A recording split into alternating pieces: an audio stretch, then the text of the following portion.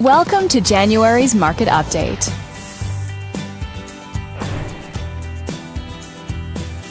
Let's take a look at residential real estate activity in your area during the month of January.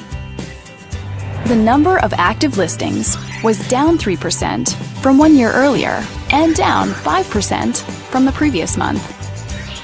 As you can see, the median listing price for the month was just under $440,000.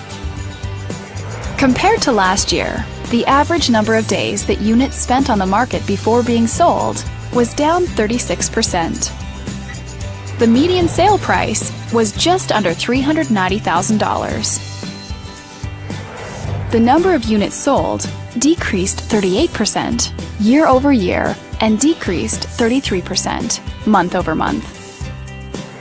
Thanks for watching. We hope you use this information to make smart, informed decisions in your upcoming real estate transactions. Feel free to contact us for more information or further assistance.